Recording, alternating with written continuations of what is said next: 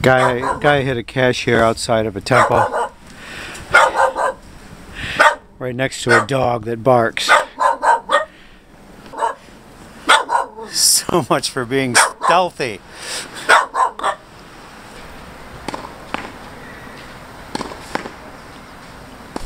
Well, as you saw, uh, there's a cache here. It's probably, it's not the worst place I've ever seen a cache place, but it's, it's uh, pretty bad, right next to a dog.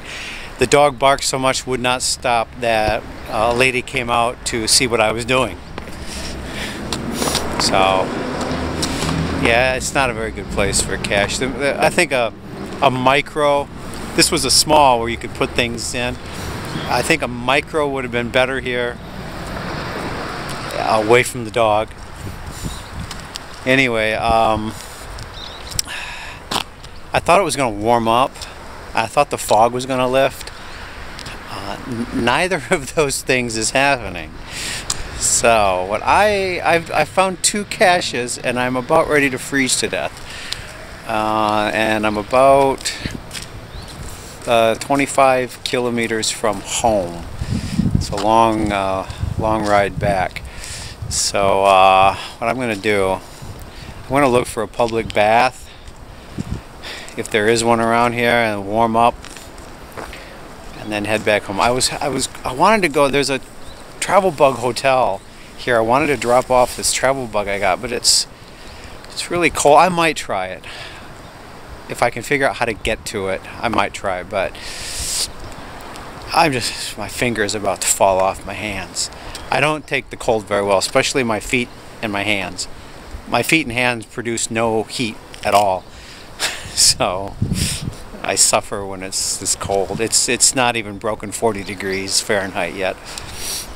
So, all right, well, let me get going.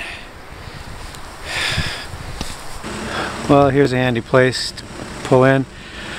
I can use the bathroom, get some french fries, which I shouldn't eat, but I like french fries, and maybe some coffee. It looks like they got coffee. Premium roast coffee short. Wow, that'll warm me up.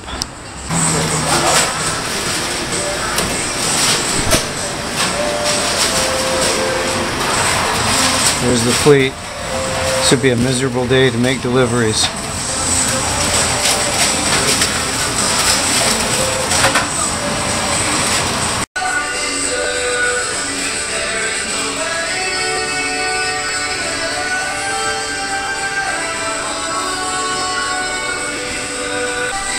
I guess they have a limited delivery area, so it's probably not that bad. Probably just a few blocks away. This, this apartment complex probably uh, constitutes a lot of business for delivery business.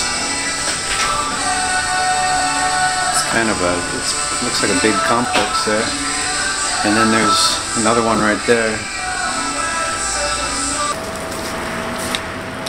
I came here, um, I, it's warmed up a little bit.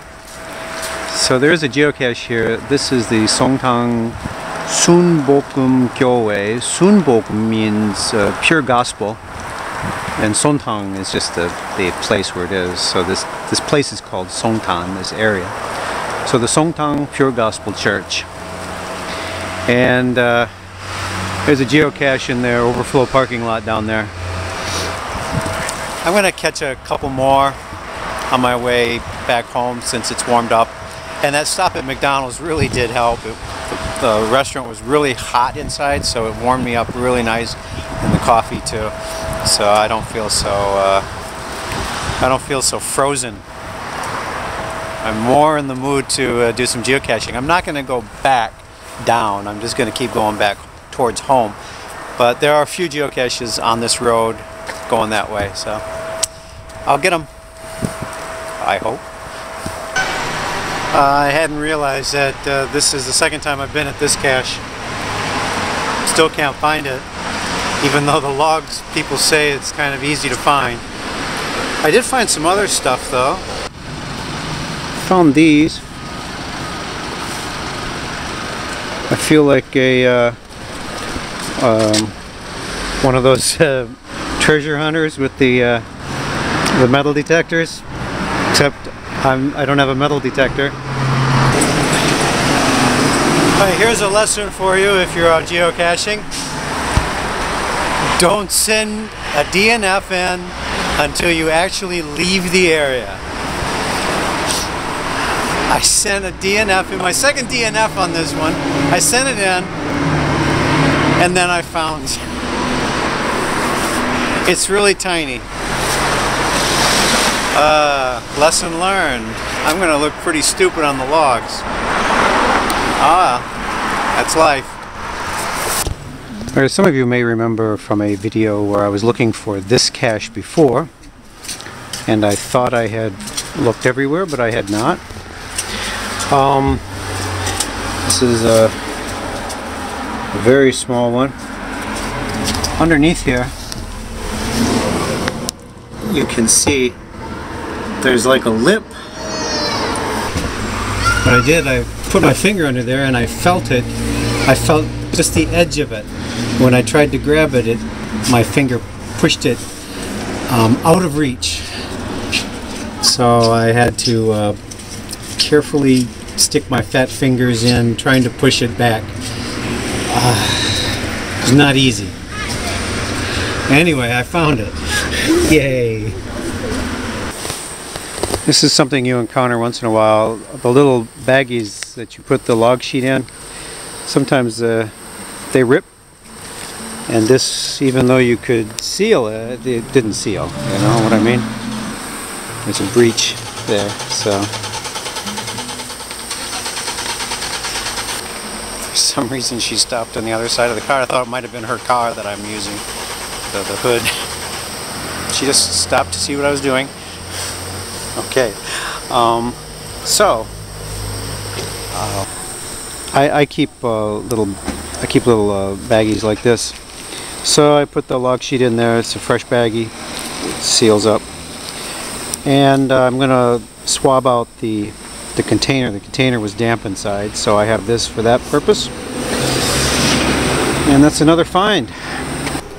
Well, um, I found a few geocaches today, uh, but the days are getting shorter and shorter. I like to start out early in the morning. I started out early in the morning. It was freezing cold. It turned out to be a rather nice day in the afternoon. About, about the middle of the day it got nice. And uh, so I changed from my snowmobile mittens to just regular gloves. Took my scarf off, took my uh, mask off. So uh, it was a nice pleasant ride and that was the most enjoyable part of the day is riding the motorcycle. I like geocaching, but I do like riding the motorcycle too when I get a chance. And I had a good ride, and I found a few geocaches, which makes the day even more worthwhile. Um, I was going to take a, I was going to go to a public bath uh, and uh, warm up, but the day warmed up, and I didn't really have to do that.